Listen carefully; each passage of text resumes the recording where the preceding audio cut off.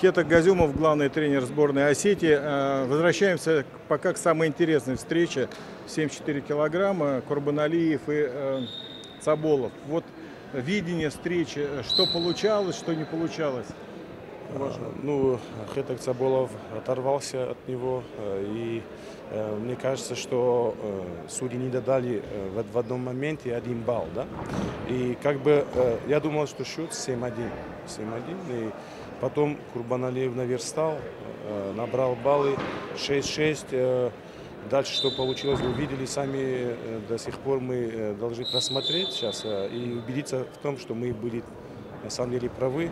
Конечно же, наше э, субъективное мнение, то, что было Цабулову, но если послушать другую сторону, то они будут свое, свое э, мнение высказывать. Но, но на квалифицированный специалист, и мне кажется, что она правильно все распределила баллы. И вот так, как получилось. Опытнейший Цаболов, как он позволил вообще набрать Курбаналиеву, или все-таки это характер соперника? Конечно, Курбаналиев очень э, мужественный спортсмен, серьезный спортсмен, чемпион мира. Конечно же, он старался сам э, забрать баллы, но мне кажется, что Цаболов допустил тактические ошибки.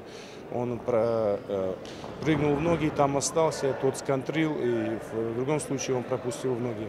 И э, мне кажется, Хедак не должен был, ну, со своей стороны говорю, не должен допускать такие ошибки. И он мог спокойно довести счет до победного конца без каких-либо таких серьезных стычек, да, мнений. В эту схватку потом, например, после соревнований будете видео смотреть и разбирать еще?